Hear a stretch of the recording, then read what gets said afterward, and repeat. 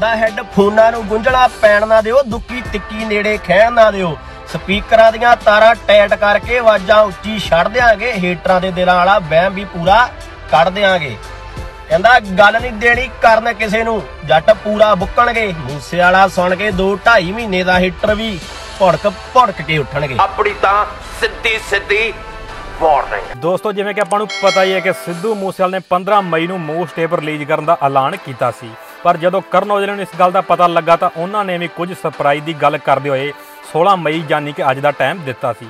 ਕੁਝ ਟਾਈਮ ਪਹਿਲਾਂ ਕਰਨ ਔਜਲੇ ਨੇ ਆਪਣੀ ਐਲਬਮ ਦਾ ਪੋਸਟਰ ਸ਼ੇਅਰ ਕਰਦੇ ਹੋਏ ਥੱਲੇ ਉਸ ਦੀ ਕੈਪਸ਼ਨ ਵਿੱਚ ਲਿਖਿਆ ਕਿ 10 ਕਮੈਂਟ ਕਰੋ, ਫਿਰ ਮੈਂ ਇੰਟਰੋ ਛੱਡ ਦੂੰ। ਕਿਉਂਕਿ ਸਿੱਧੂ ਨੇ 5 ਮਿਲੀਅਨ ਕਮੈਂਟ ਕਹੇ ਸੀ। ਉਸ ਨੂੰ ਟ੍ਰੋਲ ਕਰਦੇ ਹੋਏ ਕਰਨ ਔਜਲਾ ਨੇ 10 ਕਮੈਂਟ ਕਰਨ ਨੂੰ ਕਿਹਾ। ਫਿਰ ਉਸ ਪੋਸਟ ਥੱਲੇ ਕੀ ਹੋਇਆ ਤੁਸੀਂ ਅੱਗੇ ਵੀਡੀਓ ਵਿੱਚ ਖੁਦ ਹੀ ਦੇਖ ਲਿਓ।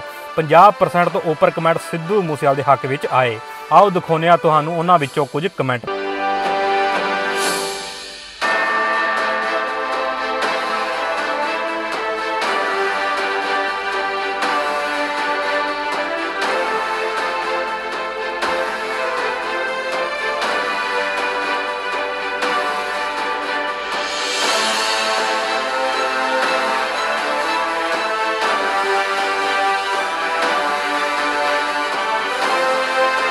ਬਾਕੀ ਤੁਹਾਨੂੰ ਇਸ ਮੁੱਦੇ ਬਾਰੇ ਕੀ ਕਹਿਣਾ ਹੈ ਸਾਨੂੰ ਕਮੈਂਟ ਕਰਕੇ ਜਰੂਰ ਦੱਸਿਓ। ਧੰਨਵਾਦ।